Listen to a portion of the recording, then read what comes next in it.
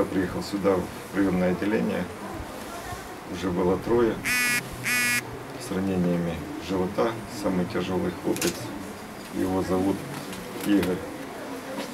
У него тяжелейшее ранение живота, контузия печени, э, где-то литр крови в брюшной полости. Его сразу после компьютерного томографа взяли в операционную. Он остается тяжелый. Второй Владислав, 22 года ему. У него перелом левого бедра.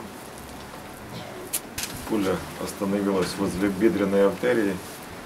Еще несколько миллиметров, наверное, не удалось бы его спасти, потому что как бы не, не тяжелое ранение, но если пуля пробивает бедренную артерию, кровь выходит за считанные минуты. У него состояние тяжелое, ближе к среднему. Он тоже пока находится в отделении реанимации. Мы надеемся, что у него все будет хорошо. Самое тяжелое поступила девушка, ей 22 года.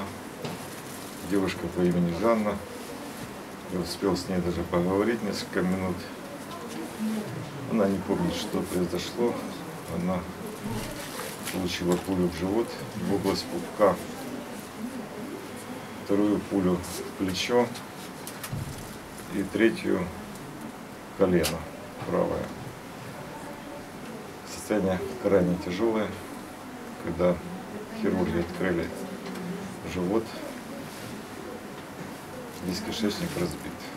Пуля пошла таким образом, что анастомоз невозможно было даже поставить. Буквально 15 минут назад закончили операцию. Состояние крайне тяжелое, можно сказать, критическое.